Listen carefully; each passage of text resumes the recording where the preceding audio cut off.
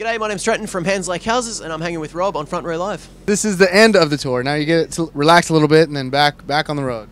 Pretty much, yeah. We got like uh, just less than two months Yeah. at home before we kind of head out again, doing the Australian tour, and then um, off to South Africa after that. So it's going to be uh, pretty hectic. A lot of in and out traveling, uh, Right. uh, in and out of home for the next kind of six months. But fingers crossed, all for good stuff. Now, congratulations on the new record, album number four. You guys took a risk on this one to try something something different. Not so much of a risk, but I feel like you know when when bands try something different with their material, I feel like it's always a nerve wracking experience. Yeah, I mean, look, we've always tried to do things, you know, a little bit differently each album. I mean, I don't feel like Anon's more different to Dissonance than Dissonance was to Unimagine. It may have been in a different direction that people were trying to predict, but like at the end of the day, it's like you know we always try and keep things evolving as we grow and as our influences change and what we're listening to at any given moment in time. So yeah, I mean, we've been really stoked on the response. It's been um, fantastic, and you know, obviously trying it out on tour is probably just as much of a you know uh, a nervy, nervy thing. But Right. um, honestly, people have been just as excited about the new songs as everything else. So it's been a really nice balance and really cool spread of people. Now, I, I heard you mention, um, which is actually one of my favorite songs on the record. "Sick" was was kind of what made you realize like this is the direction we want for this record. What was it about that track that you knew that was the direction? I don't know, just kind of connected. Um, I mean, it happened really suddenly. I mean, the whole album process was about just trusting our instincts and like let it happen, and then um, you know trust what comes out naturally, and then use that as the foundation to build on. And that just seemed like something about that song. It just came together so quickly, so easily. We wrote Right. it in like two or three days, and it just was done. And it was like, this song's great. so it kind of felt, yeah, I don't know. It just kind of felt like that was the best way to shape the record after the fact, and Mm. um, it became that kind of centerpiece for all the other songs to come around it. And Right. Yeah. Now, as you guys are kind of you know dabbling a little differently on this record, um, you guys also went into the studio with a new producer, Colin. This is the first time you've worked with Colin. Yeah. Um, so, what was it about Colin that you guys wanted to work with him? Um, he just had a awesome energy and enthusiasm for what we were doing. Like it was not just like his, you know, there's producers that kind of bounce off the walls, excited about everything, but there was something that he just had this like perspective on what we do and how we, you know, how we could push ourselves. And Right. because we haven't, we met with a bunch of producers off the back end of Warped Tour uh, in 2017, um, and just we spent a couple of days in LA just having a few kind of sit downs, you know, coffees, chats, beers with a couple of different people. And there's just something about the way that Colin like latched onto what we were doing and what we could do. I don't know. It's just like kind of a no-brainer. After that, he just had this excitement and energy, and Right. it made us feel really confident in what we could do. And you know, we flew him out to Australia for a couple of weeks just to kind of jam some songs out with us, and that's when we wrote "Sick," um, just in my studio at home, and it just. Yeah, it just kind of felt right, and he just pushed us in all the right directions, and getting that real kind of raw, sort of, you know, very analog, like high-end analog sort of feel, rather than being this kind of super hyper polished, like in the box sort of record that we've done previously. And I mean, you know, not to say like I'm still stoked on what we did with the last few records, but it just felt like it was a nice change of pace, and it really embraced the, I guess, the ethos of the album of just trust what comes and then build on that. So yeah, And, and doing it more of an analog style, do you feel like I personally feel like when when an artist creates a record, um, doing an analog, I feel like when you take it to the live show, it's basically the same as the album. Like it doesn't change much. Do you feel it's the same with this record? Yeah, I think so. Um, I mean, we, we do use like digital amps and stuff just for the convenience factor, and I mean, it sounds like 99% of the real thing. Right. Um, and so, yeah, we, like just the songs being more kind of just just having more character and having a bit more kind of color and feel. Um, we were able to kind of bring a lot of those kind of amp profiles we used and like in the record and kind of brought it across and it's um, yeah it's just made for a pretty smooth transition into playing the new songs and looking forward to getting more out soon Right. Now with back with Clinton, like did was he familiar with the band prior to to you guys talking to him? with Colin Sorry, Colin. Yeah. It's all good. Sorry, Colin. I think so. Like he, I think he'd heard of us, was kind of familiar, like vaguely familiar with what we were doing. Um, yeah, to be honest, I'm not really sure how well he knew us prior to that point. He was, a, we were introduced to him through our um, label executive, uh, Eric Tobin at Hopeless, Yeah, um, and he just connected us up, and it was in kind of an area of LA we we're familiar with as well, and yeah, just he just seemed to love what we're doing. Like it's like whether he just listened to it then or kind of known it for a while, it just it all carried through. So yeah. Now with with Sick being a little different um, from previous material, how different was the writing process for Sick? Um, it was. I mean, the whole the whole record was kind of that same sort of just like sit down, write things, like play something, and say, how you know, what's it feeling like, and kind of building off from there. And it was Right. kind of, it was all about building on feel and about trusting. Like we had the word back brain as kind of one of our buzzwords for the studio, is one that we used a lot, and just talking about that back brain influence, that natural instinct of like what feels right. Because you know we've had three and a half albums now to kind of figure out how we write and how we produce and how we record, um, and so it really was just about just you know letting that experience shape our instincts and then trusting those instincts as the basic thing. So, you know, it, it was a lot more natural. Things came together a lot quicker, song by song. There were some songs we had to kind of keep rework, rework, rework, rework until it got to a place that it, felt like it was, it fit on the album. Um, but yeah, all in all, just, it was, yeah, just that, just that feeling of things being just not stressful. Um, we, you know, with Dissonance, we were very tightly packed in between tours and in between other commitments. So we spent 11 months out of 12 away from home that year. Um, and that itself took a pretty heavy toll on us, kind of personally and emotionally. Um, so being able to, you know, really kind of take time with the record and relax and not feel like we had all this, you know, really pressing time pressure and like, oh, we got to finish this before we go on tour and, um, you know, that just that sort of thing. And touring is just a totally different headspace. So we had not just time but headspace and, um, you know, the ability to kind of figure out what album was going to be. And even then, we still wrote like half the album in the studio. Um, but it was just that process of figuring it out first that gave us that confidence and that calm to be able to, yeah, just just to be able to relax and enjoy it. And I think that, that carries through to the songs for sure. Now, do you do you feel like your evolution in songwriting as you go into a new record, or is that something that you really like? You totally don't even notice. Um, I mean, we're aware of it. Um, I think we tried to let go of our expectations of kind of who we are and what people were expecting from us. Like, I think we just kind of threw that out the window because we're like, well, look, it doesn't matter. Like what what we do as the five of us, because we are, you know, the, pretty much the same five people that have been in the band for the last ten years, Right. um, with the exception I of can't believe it's been ten years already, though. blows my mind to think about. It's like a third of my life, but um, yeah, it's just like we just kind of we feel like like our the five of us writing music together is always going to have a sound. It's always going to have a certain fingerprint Yeah. to it. And sure, that might be you know st- it might be like kind of stylistic changes, but the substance and like the core foundation of what it is, and the, and our sense of songwriting, like what makes a song breathe, what makes a song catchy, what makes a song work. Um, I think that that is always going to carry through whatever we write, no matter what style it is. So the rest is all just kind of skin changes on the same skeleton, you know. Right. Um, and yeah, I, I think that that's you know something that we've definitely embraced and something we've tried to really kind of throw ourselves at and just say, look, we're, we're going to write music and you know we trust that what we do is going to be the best version of itself, whatever it may be, and see where we end up. You know. Right. And wh- when we're talking about instrumentals, like, what did you guys do differently this time around in the studio? just jammed. Yeah. You know, plugged things in, uh, made it sound good. Uh, if it sounded good, we just recorded it. That was kind of it. Like we, we used a bunch of guitar pedals and um, also recording like in a big drum room with a full console and stuff was a new one for us. Recording in like a big, you know, it was like an EVMI console in the Yeah. in the bottom room there, and a big like very well constructed acoustic space for the drums. So between that and using a whole bunch of guitar and bass pedals, a bunch of different guitars and basses, depending on the different sounds that they contributed to the record. And if it just sounded good and it worked, then we just committed to it. And that in itself was kind of a cool process of just rather than you know trying to figure it out later, it was just you know committing to it on the fly, just made it work. Right. Now, as you as you mentioned earlier, like there was uh, there was a few songs that you kind of had to redo and redo before you, it finally made the record. Um, which song in particular was like the one that you guys struggled with the most? Uh, it was definitely Black. Um, Yeah. Black. We just we started off and it was kind of a very bouncy song, very kind of, you know, mosh corey, and Yeah. it, you know it was it was a cool riff, but it just I don't know, it just didn't feel like it was a it felt like a step backwards more than a step forwards for what we were doing. So Okay. it just ended up being that we rewrote it and rewrote it. We went from like kind of that it, was, it kind of felt like Glasshouse from the last record, but um, not necessarily even a better version of it, just something different. Um, but yeah, just we rewrote it. We made it a bit like time signature, a bit more like progressive, and even then that just felt like it was, I don't know, just didn't really feel like a confident step in any particular direction. And then Yeah.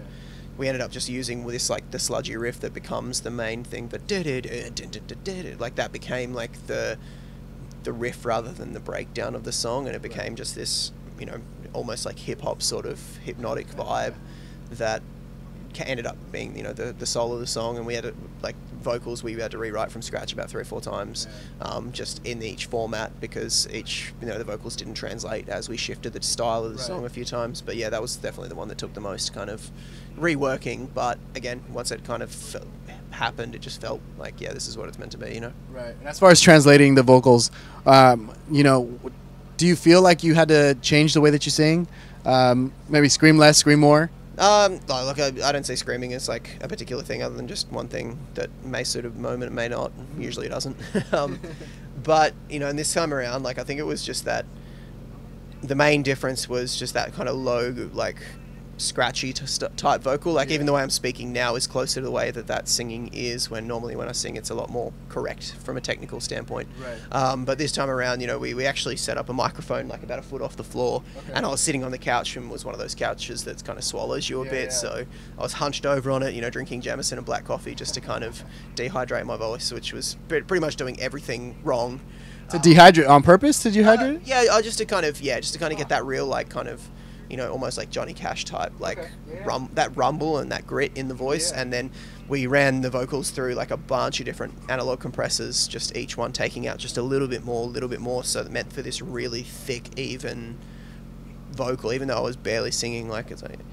You know, I'm talking. It was like literally like this sort of level when I'm singing. Like, Crazy. it's like, um, just trying to think. Like, um, digging down in the dirt and sweat it out, sweat it out till it doesn't burn. Like that, like just singing that quietly, Yeah. but then having that hit all those levels of compression, it just brings it up and makes it forward and puts it in your That's face, and um, and just getting that in that hunched over, like breathless, dried out sort of state, it just created that really cool kind of grit, and it felt like it gelled with the song. Because prior to that, I'd kind of demoed some stuff, and it was the same melody and the same lyrics, but it was like singing it properly, and it just it didn't it felt like the vocals on top of the song not in the song. And so yeah that's that's why we trying to kind of push that envelope. And yeah and we ended up retracking a whole bunch of the vocals on the record with that sort of setup and technique. Obviously you know pushing a little bit harder with some bits depending on the context. But Right. yeah it, it um, definitely was a big change for me to kind of throw everything I know how to do well out the window and then re- relearn how to sing for a minute and then stop myself so when I do it live I sing just normally Yeah. because it's more about longevity than specific tone Right. but on the record, you know, you- you've got more time for tone and attention because that creates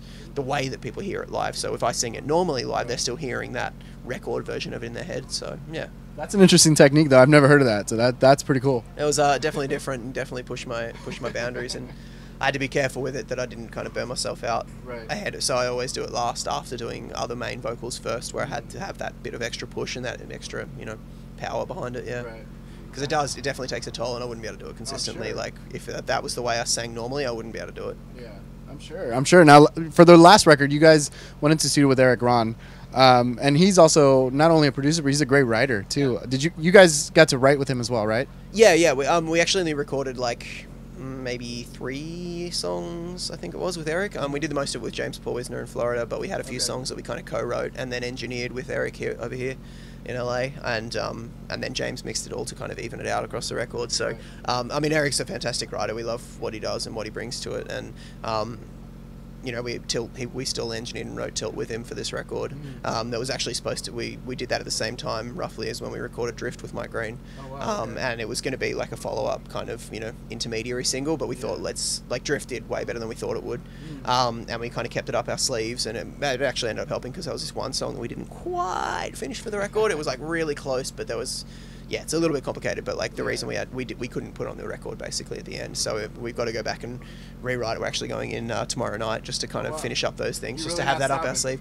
Not really. I mean, it's it's mostly done, so it's certainly not like a big commitment, but just going in to kind of just rewrite and refinish those last couple of little bits that need to be finished for that Right. song. But because that song dropped off, we put Tilt in the mix, and Mhm. um, you know, it definitely has served the purpose with the record, and we're you know, it's been really cool to play live, and Right. um, people have loved it as a single as well. So just yeah, it's ended up working out for the best. But uh, yeah, pretty excited to get this new song finally finally finished because it was actually one of my favorites. That's awesome. Now back to Erik Rondo. Like, what do you like most about like uh, uh, writing with him? Um, because I feel like he's he's a producer that you know pe- artists are starting to pay more attention to now. Yeah. But I've always been a fan of his work. Um, but what is it do you like about his his co-writing? Um, he just has a really good sense of melody, like regardless of style. And I mean, you know, I, I think that you kind of know what you're going to get from it, but it's always such a consistent, solid thing. Like, you know, it's always he, he does anthems really well, just that really kind of big, soaring, powerful chorus, and that's why it so, works so well for this genre that we've kind of you know existed in somewhat over the last few years. Like, Right. I think that that's why he's had so many bands from this world going to him because he just brings that kind of memorable, anthemic, like driving, powerful choruses, Right. and gets that really cool sense of dynamic space as well between the vocals and so between the verses and the choruses. There's always just such a good balance. So hmm. yeah, I, I love him. He's still one of my favorite people in the world, and I like look, you know, like working with him on. I always get his advice on different producing things because Right. with my own stuff and just you know hang out and gonna swing through his studio tomorrow while we're in the area just to say say quick a day, give him a hug, and maybe beat him at FIFA probably. nice. Now you know this this tour ends tonight. Um, you guys, I feel like you guys have been on tour majority of this year. Uh, prior to you guys going into the studio and creating this record. It's funny. Everyone seems to think we're always on tour, but this year we've actually had like we had 12 months off since Warped Tour last year. Yeah, it's um. I mean that's that's great that people are you know aware that we're still out there. I mean, ki- in some ways I kind of wish people realised we weren't touring that often because they might be less you know less likely to say I'll see them next time. Yeah, I'll see you know what I mean. Like that's always the challenge, especially here in America. But Right. because people are so used to bands coming around like two three times a year, Yep. whereas you know for us we're trying to do it like once a year now. Um, but yeah, we actually had a 12 month break to kind of write and prepare the record, and I got married in that time, and that was, you know, thank you. Um, and just got to spend time just kind of being a normal functioning human for a bit. um, you know, with all its, cha- you know, all the challenges of saving and spending money on a wedding and all that sort of stuff. So, I mean, you know, we're stoked it was everything we wanted to be, but taking that time off meant that we had time to kind of go into the record confident and calm and relaxed and, um, you know, and get on with life a little bit because band can very much take over your life to the point where it's Right. really hard to kind of have a normal functioning, Right. you know, adult life. Adult life or just life in general. Yeah, but um, but yeah. So I mean, we but because of that, we've met. It meant that once we did hit the road, we've had two months of straight touring. We did a little, a couple of release shows in Australia. We went straight on to do like a week and a bit in the UK. Went to do two weeks in Europe. Came over here. We've done like five weeks here now, and it's uh, it's been a pretty solid two months. And we get home, yeah, fly out Tuesday night and. Yeah. Back home for Christmas, and then uh, yeah, a couple of months off. Just which you know, Christmas is never really time off because you're always traveling to see family and Right, kind exactly. of getting all that end of the year stuff sort of. kind of touring. It, it is, it is, but um, you know, glad to just be home. Yeah, for sure. Right. Back Now, to, back to summer. Back Yeah, to summer. That's that's a you good thing. now to close us off, like, why do you? Is it still the same reason? Why do? You, why did you start creating music when you started creating music? that's a feel like tough. that's yeah, changed? it's a tough one. I mean, I've always loved, I guess, you know, anything that's kind of a balance between creative and practical. Like Uh-huh. uh, for me, that kind of the the anything that marries the left and right brain together is like a. It's for me that's inspiring, and that's why I like producing. It's why you can you know combine like, well, this is what I want to do sonically, and that's the Mm. gear I need to do it. Like this is what I want to do you know, creatively, and this is the technique and the workflow that needs to make it happen. And I think that's something about that's a, a, you know, music is a perfect world for that because it is a technical, mathematical art that you're putting into a human, you know, human element. And there's so many different, you know, even career paths within music that kind of take something intangible and something tangible and you know, kind of fuse them together to make something work. So I think for me, it's that that's always been the fascination with music. Um, as far as like, you know, wanting to make, I mean, to be honest, I sing because I can. I, I wouldn't say I've ever like you know, I wouldn't say that singing is my life. I've never been that Mm. kind of, you know, driven. I want to be a singer because for me, I was playing bass originally. I was completely happy with that. Like not for this band, but just like when I met this band, I was playing bass and doing backup vocals for another band. And um, for me, it's just you know, it, it's just it's been a way to kind of see the world and you know make friendships and you know do a bunch of cool shit that most people don't get to do. So I think for me, I don't know. I never really had these like high and lofty goals of like this. You know, I want to do this and do that and be that. It was always just like I want to make something meaningful and see what happens with it. And Right. you know, here we are, ten years later, still seeing what happens because a lot has happened and there's plenty more, hopefully, still to come. But Oh, you know, definitely. you know, we, we take it as it comes, and you know, we're, we're not.